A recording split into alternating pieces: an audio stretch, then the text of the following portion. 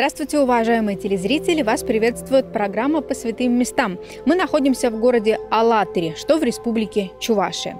Рядом со мной образ Пресвятой Богородицы «Нечаянная радость». Эта икона напоминает нам о важности покаяния. Об этом, а также о молодом приходе и реабилитационном центре наш сегодняшний рассказ.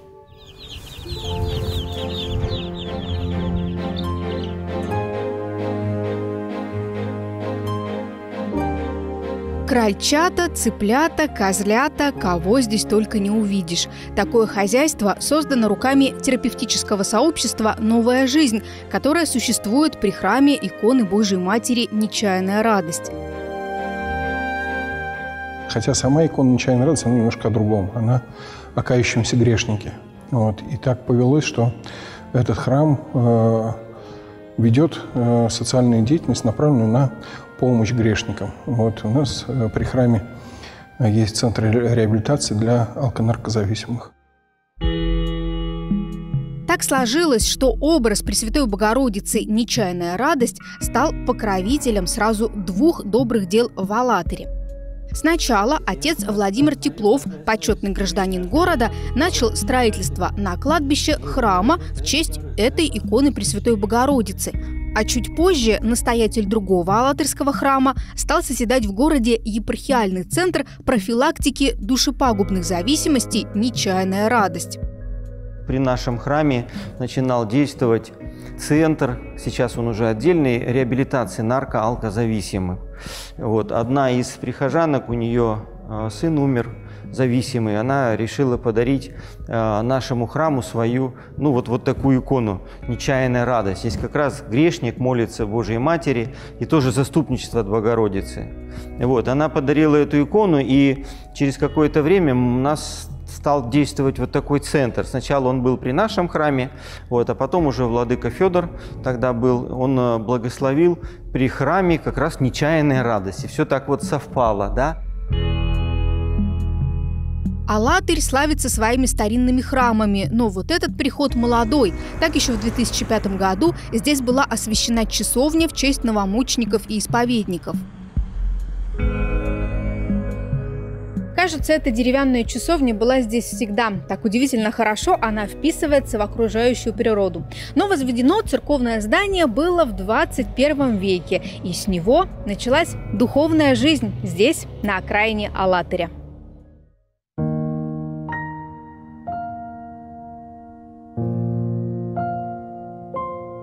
А в 2010 году была освящена и эта церковь.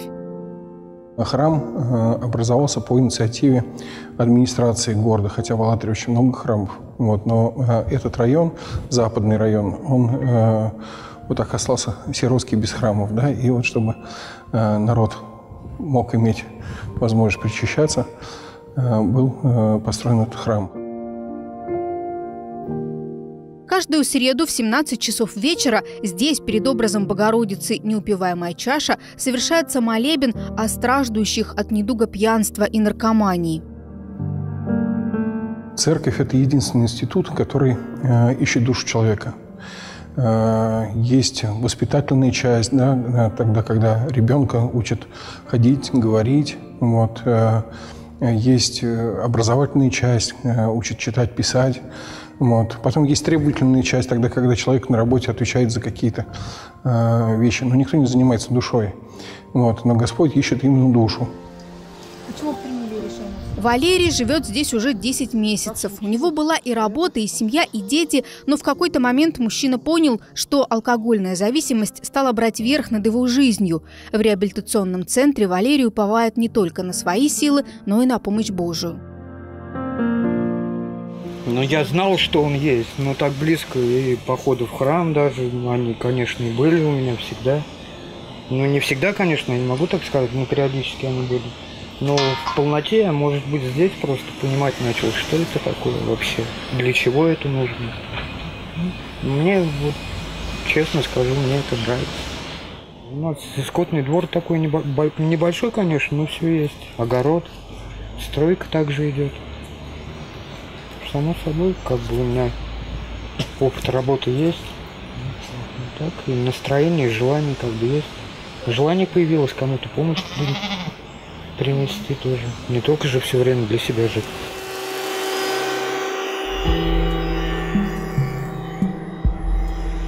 Трудовое послушание – это только часть программы реабилитации. Личные и групповые беседы, лекции, занятия с психологом, да и просто общение в кругу выздоравливающих оказывают очень важный эффект. Для того, чтобы помочь человеку, надо спуститься в его личный ад. Вот. И вот тогда э, можно показать выход э, из этого ада. Э, примерно этим мы пытаемся заняться. Ну, я сам э, начал употреблять в раннем возрасте, где-то уже с 15-16 лет на тяжелые наркотики перешел.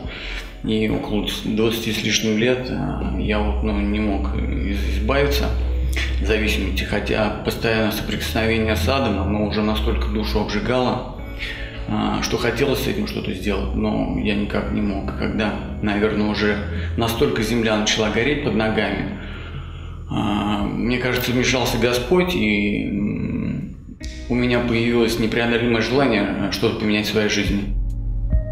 Мама Алексея из эфира телеканала «Союз» узнала, что в Тверской епархии есть реабилитационный центр «Радуга». И с полностью уверенностью сразу сказал, Леша, нужно ехать в Кимры. И я как-то вот прям без проблем, меня как будто взяли вот так и переставили туда, в Кимры, и я там оказался. Самое тяжелое было, наверное, знаете, когда я года три пробыл в реабилитации. На девятом месяце я очень четко осознал, а, что для того, чтобы перестать а, употреблять вещества, мне нужно сейчас на себя а, перенести все 10 заповедей Божьих, которые даются. А ведь я настолько привык к страстям, и мне казалось это просто невообразимым начать вести вот эту вот этот нравственный образ жизни. Это было самое тяжелое, смириться с этим. Но как-то в один из моментов э, я помолился иконе «Неупиваемая чаша». Я давно знал, что если я попрошу избавить меня да, от желания употреблять и все остальное, э, Господь заберет у меня его. Но я не хотел с этим прощаться. Но в один момент, вот, наверное, за 9 месяцев я как бы креп духовно, да, и вот эта духовная крепость маленькими-маленькими шагами а, привела меня к тому, что я набрался смелости и попросил Божью Матерь о том, чтобы она помогла мне в избавлении. И как-то у меня, я не знаю, откуда у меня появилась твердая уверенность, я сказал сам себе, что постараюсь сделать все, чтобы больше никогда не употреблять. Вот, и когда я с этим определился, что попробую а, соблюдать все 10 заповедей Божьих, а там уж будет как будет, а, Господи, вот, оно и как-то пошло и перестало меня мучить. Беседы со священниками и участие в церковной жизни вселяют веру и надежду на возможность выздоровления. Спуститься э, вот в эту проблему человека можно только тогда, когда ты находишься рядом с ним, тогда, когда он проживает день за день с тобой.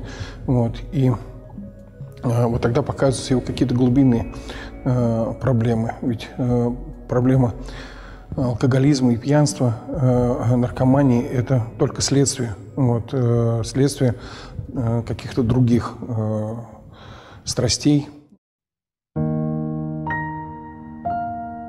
Скоро исполнится два года, как Алексей Самсонов сам помогает зависимым.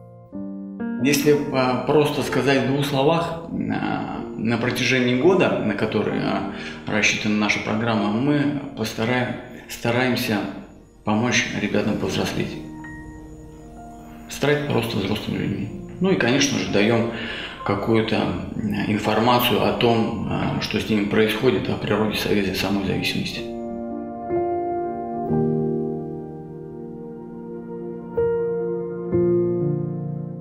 У Богдана зависимость кредитная. Молодой человек набрал долгов в тайне от своей семьи. Получилось так, что обманул э, жену свою по поводу э, финансовых э, проблем. То есть она думала, что у нас все нормально, а на самом деле все было очень плохо, очень печально. Мне старший брат порекомендовал сюда вот съездить на год, посмотреть, что из этого получится. Думаю, что продвижение есть, но есть еще на, над чем работать. До этого я к религии относился ровным счетом никак, и поэтому ну, это было что-то новое. Даже э, какое-то отрицание, что ли, сначала было. Вот. Но можно сказать так, что за вот этот не, не, не полный год я э, храм посетил больше, чем за всю жизнь свою. Временным домом для тех, кто приезжает сюда на реабилитацию, становится небольшое здание рядом с храмом. Прийти сюда может любой желающий, осознавший, что зависимость есть у него или у близкого человека. Работать легко тогда, когда э, помнишь, что ты сам грешник. Что и у тебя есть моменты э, э, тогда, когда Господь сердце касается и радость, да? И есть тогда, когда ты его не видишь. Вот. вспоминая о своих грехах, э, принимаешь и другого человека. Сыпать, сыпать, сыпать, сыпать. Существует новая жизнь за счет добровольных пожертвований и грантовой поддержки. Ну, вот мы находимся э, на строительстве нового корпуса для терапевтического сообщества «Новая жизнь». То есть э, тот центр реабилитации, который у нас есть, он не способен вместить всех желающих. У нас на 8 мест центр. Вот. И э, когда мы поняли, что там э, мало, запрос намного больше, э, приняли решение строить новый. Ну, денег не было, но как-то вот появились благодетели. И вот сейчас есть то, что есть. Корпус будет рассчитан на 26 человек. В возведении здания принимают участие сами подопечные центра год прошел у меня, здесь реабилитация. Я вот, ну, остался с батюшкой, поговорил. Батюшка Дмитрием, он меня оставил еще там, ну, на время помочь. Здесь стройка идет туда-сюда, но это вы все увидите. Помочь хочу, во славу Божию. Но раньше я как-то к Богу относился, ты мне ничего плохого не сделал. Я, а когда вот, ну, начал вот церкляться, некоторые вещи начал посерьезнее воспринимать и, и стало по, ну, получше, конечно во всем. Господь как бы помогает.